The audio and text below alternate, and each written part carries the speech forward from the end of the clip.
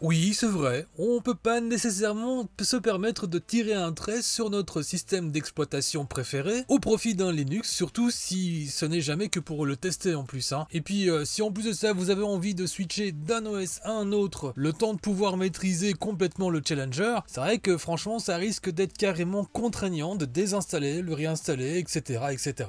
Alors que le but, c'est tout simplement d'expérimenter Linux. Hein. Mais castagnette, hein, parce qu'aujourd'hui, eh bien, nous allons voir comment on pourrait installer une distribution Linux et, au hasard, bah tiens, euh, je vais choisir Ubuntu, hein, et faire ce qu'on appelle un dual boot. Donc, eh bien, ce dernier cohabitera sur le même disque dur ou le SSD que votre Windows 10 ou le 11. Au préalable, assurez-vous de disposer d'assez d'espace disque sur la partition contenant Windows, puisque nous allons l'amputer d'une partie pour la réserver ensuite à Linux. Et puis ben pour le reste, ben si ça vous parle, allez, ben ouais, c'est parti mon zizi. Je vais tout d'abord télécharger l'ISO de ma distribution Ubuntu. Alors ici bien sûr j'ai choisi une des distributions les plus populaires, mais cette procédure peut très bien s'adapter sur une autre distribution Linux bien sûr. Hein. Je ne vais pas déroger à ma bonne vieille méthode Ventoy, ou si vous préférez utiliser Rufus ou Balinature. De toute façon le résultat final doit être le même, c'est-à-dire disposer d'une clé USB amorçable pour démarrer l'installation de notre distribution.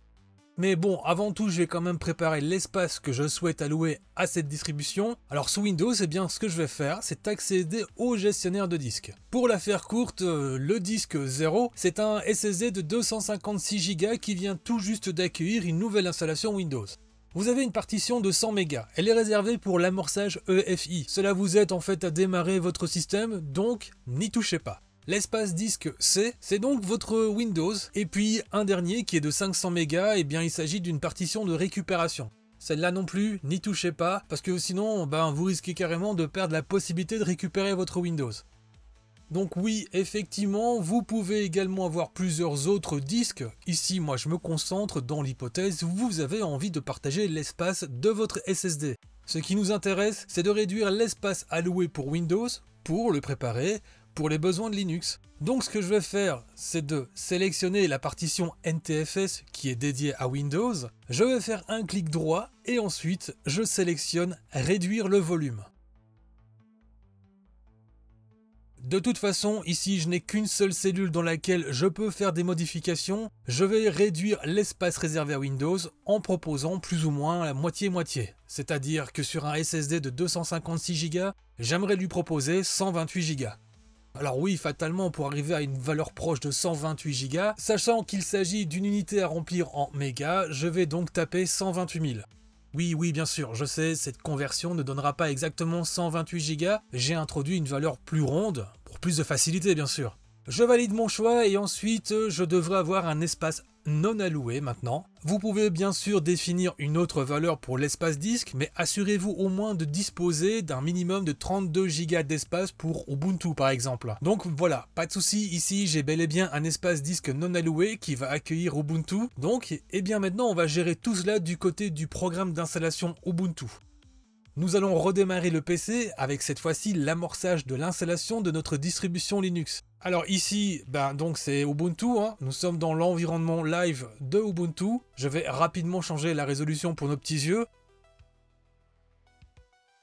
Et nous allons suivre la procédure d'installation classique. Donc ici, pas de secret, hein. vous choisissez la langue. Et si vous souhaitez, vous pouvez vous attarder pour personnaliser Ubuntu. Vu que euh, ce qui nous intéresse, c'est la partie consacrée au dual boot, eh bien je vais laisser cette partie par défaut en cliquant sur suivant. Sélectionnez la disposition de votre clavier, bien sûr. Et je laisse aussi par défaut ma connectivité puisque de toute façon je suis branché via un câble Ethernet. Alors qu'est-ce que je veux faire avec Ubuntu? Bah l'installer par dit. Et vu qu'il s'agit d'une installation par défaut, je vais garder la proposition d'une installation interactive. Je fais pareil pour les applications proposées par défaut il nous demande ensuite si vous souhaitez ou non installer des logiciels propriétaires recommandés. Alors là, il s'agit bien évidemment des pilotes propriétaires comme par exemple les pilotes graphiques NVIDIA ou les pilotes d'adaptateurs Wi-Fi un peu plus récents.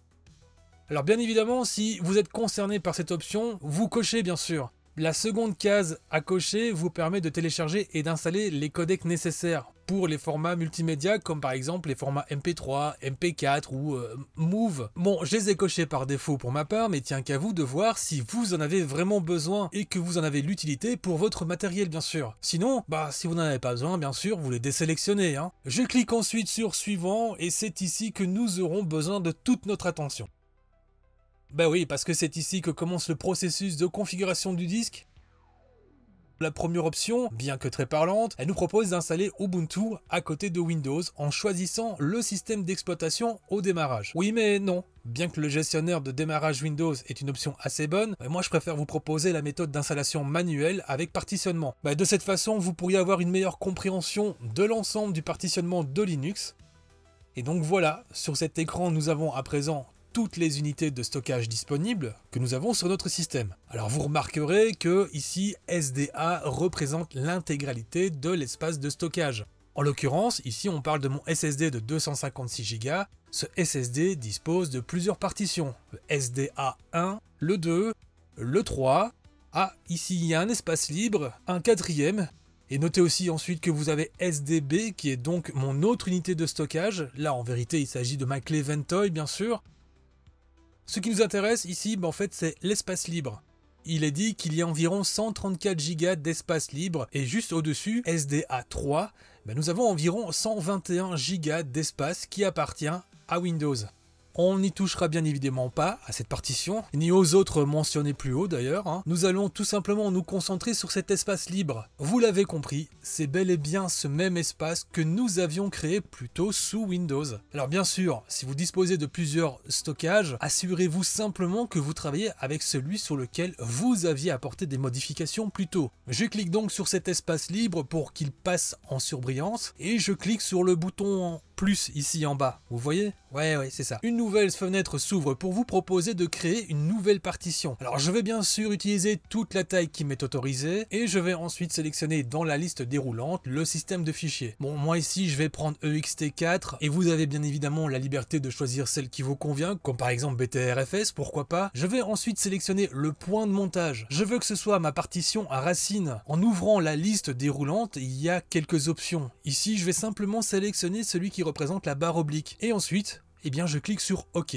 Vous avez remarqué maintenant qu'il y a un nouvel espace rempli, SDA5, il est coché pour être formaté en EXT4 et d'ailleurs vous pouvez même le voir dans les répartitions des couleurs au-dessus. Là, ouais. Une dernière chose, des plus importantes, c'est en bas que ça se passe, nous avons besoin de sélectionner un périphérique pour l'installation du chargeur de démarrage. Si vous appuyez sur le menu déroulant ici, vous remarquerez peut-être plusieurs options. En fait, le programme d'installation Ubuntu est suffisamment intelligent pour reconnaître où se trouve le chargeur de démarrage actuel. Ici en l'occurrence, eh bien il se trouve sur mon disque SD donc il ajoutera Windows et Ubuntu côte à côte sur le Grub afin que vous puissiez choisir le système sur lequel vous souhaiteriez démarrer. Tout l'ensemble est configuré, vous êtes maintenant prêt à passer sur suivant.